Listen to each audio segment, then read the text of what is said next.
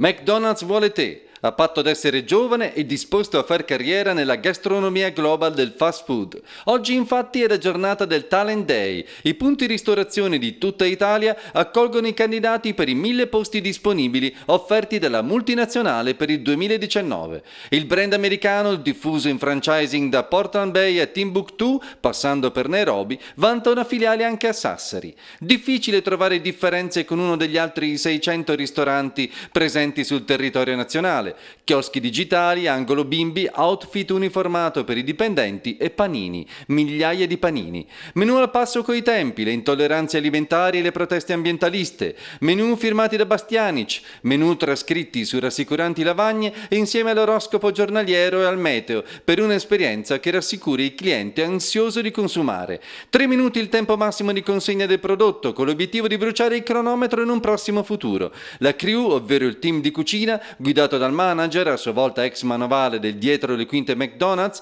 che da par sua ambisce al ruolo di direttore segue a memoria un percorso di accoglienza e soddisfazione utenza. Lo schema viene dalla casa madre, diffuso con master e full immersion ed applicato giorno per giorno fino all'automazione. Il segreto del successo McDonald's, al di là della politica di sorrisi e braccia aperte da parte dei gentilissimi manager, rimane tale. Vietato agli estranei entrare nelle cucine o discutere di informazioni sensibili. Il modello non va infranto. Per gli aspiranti armati candidati di curriculum che si sono presentati nell'area Mac Café davanti a un Guest Experience Leader, ovvero un'interna di lungo corso, questo sarà il primo insegnamento. McDonald's è una fede immutabile da non tradire.